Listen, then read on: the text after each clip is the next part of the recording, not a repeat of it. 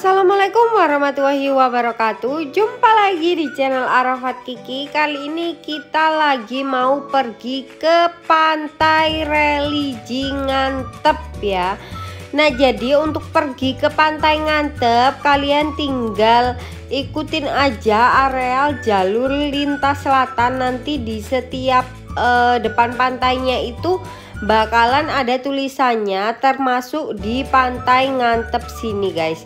Dan untuk tiket masuknya sendiri itu 10.000 per orang dan parkirnya pun 10.000 jadi totalnya untuk dua orang dan satu sepeda motor yaitu Rp30.000 saja untuk memasuki kawasan wisata Pantai Ngantep Nah kemudian di depannya pantai ngantep sini kita sudah disambut dengan musola di pantai ngantep ya. Jadi kenapa dibilang pantai religi? Karena di sini itu bener-bener kental banget nuansa religinya guys. Nah ini ada denah lokasi pantai ngantep guys. Kalian bisa lihat sendiri Nah, sekarang kita bakalan langsung menuju ke areal pantainya. Jadi di sini juga ada kayak pendopo gitu yang bisa digunakan untuk beristirahat. Kemudian di situ juga nanti kita bakalan pergi ke areal bukit di sebelah kanan jalan. Di situ nanti itu bakalan ada kayak pentungan gitu, guys. Nah, sekarang kita bakalan Langsung lanjut aja menuju ke pantainya. Ini viewnya udah cuakep banget ya di pantai ngantep. Nah langsung aja kita masuk ke areal pantai ngantep Memasuki kayak gapura ini ya. Nah, di sini dijadikan spot foto juga bagus banget, guys. Nah langsung kita masuk. Wah pantainya bener-bener bagus banget ya. Nah terus di sebelahnya ada bukit-bukit juga. Terus pantai ngantep ini bener-bener bersih banget guys. Kalian bisa lihat sendiri. Pantainya itu bener-bener cantik kemudian pasirnya juga bersih. Kebetulan hari ini itu kayak ada rombongan gitu ya rombongan kayak pakai bus gitu. Jadi ada kayak anak sekolah yang lagi berwisata deh. Biasanya kalau mungkin lagi nggak ada rombongan bus kayak gitu pasti bakalan lebih sepi lagi di sini dan viewnya juga pasti bakalan lebih bagus dan kayak pantai pribadi gitu nggak sih? Nah ini anak-anak lagi bermain-main bermain-main air.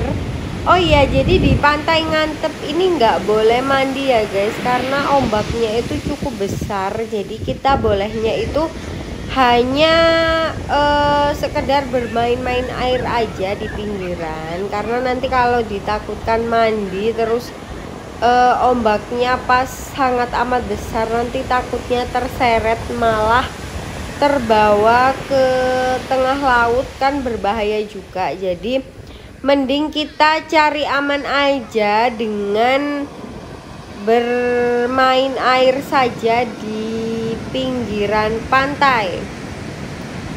Atau kalian di sini bisa dengan uh, apa? Naru-naru tikar terus piknik-piknik gitu kan bisa ya. nah, terus ini di bukitnya seperti ada gapura juga. Nah, terus ini viewnya juga mantep banget dan juga bagus ya. Jadi kalian bisa lihat pantai ngantep ini masih sangat alami dan juga indah banget. Nah kalian juga bisa berayun-ayun di pinggiran pantai kayak gini guys. Jadi berayun-ayunnya itu with the view ya. Jadi dengan menikmati view pantai ngantep dengan bersantai-santai sambil ber berayun-ayun. Oh sama sama ah,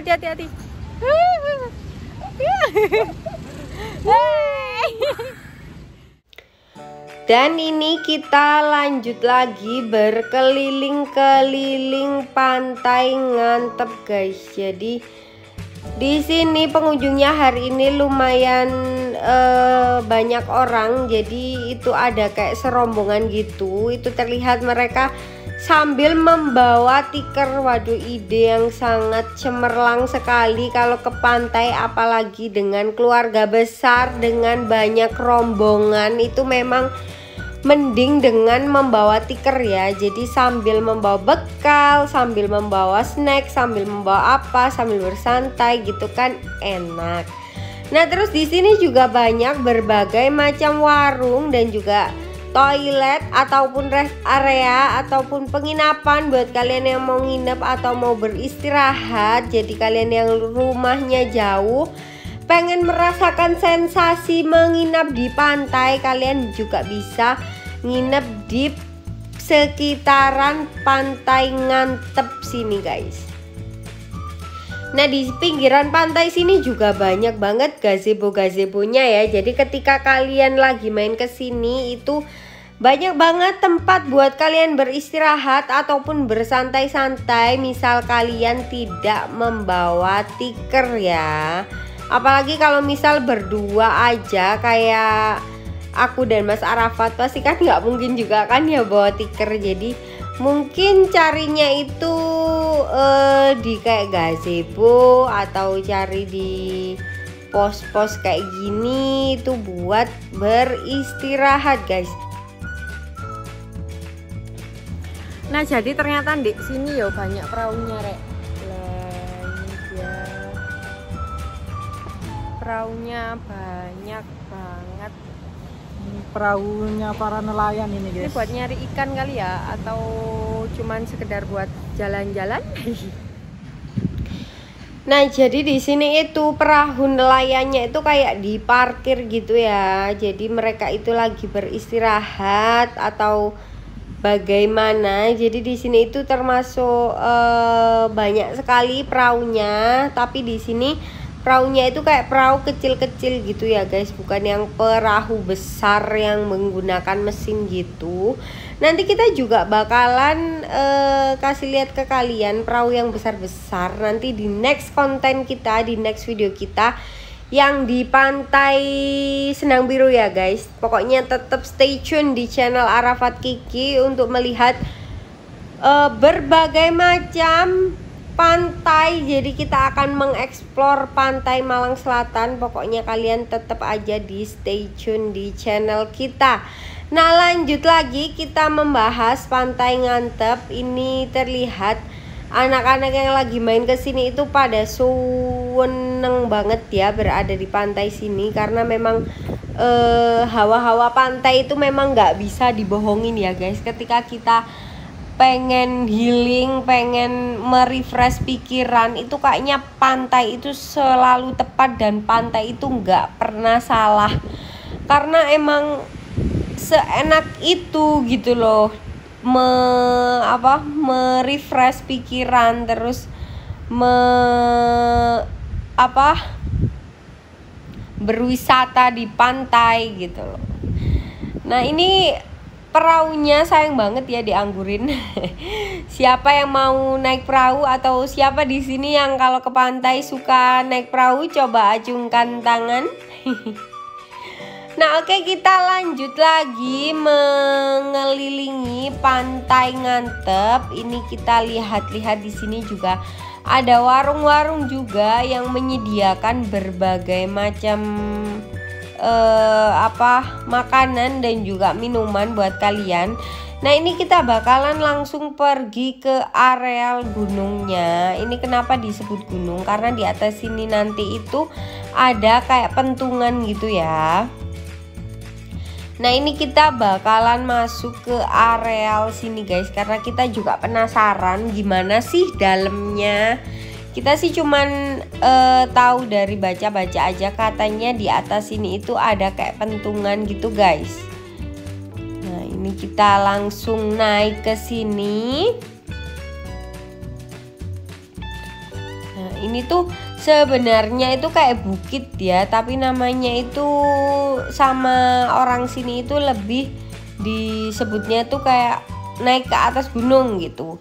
Terus kalau misal naik ke sini itu sandalnya dilepas ya guys. Ingat sandalnya dilepas biar tidak mengotori dan tetap menjaga kebersihan yang ada di sini Nah ini kita sudah sampai. Nah ternyata itu dia guys. Pentungannya berada di tengah-tengah sini. Jadi pentungannya itu kayak ditutup sama kayak kain gitu ya. Nah ini dia pentungannya. Besar banget. Berada di tengah-tengah sini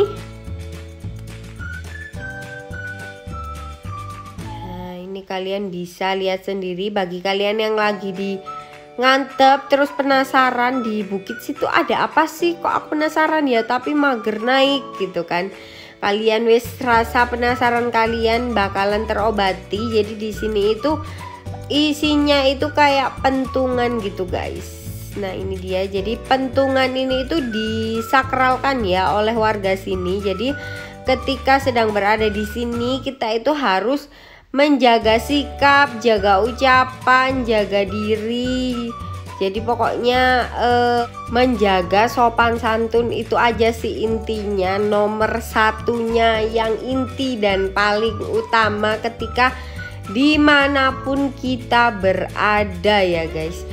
Nah oke okay, kita langsung lanjut lagi mengelilingi areal pantai wisata Ngantep. Jadi di sini ini ada aulanya yang tadi itu juga bisa digunakan untuk beristirahat dengan kapasitas banyak. Ketika kalian mungkin membawa rombongan yang sangat besar bisa juga istirahat di situ tadi guys.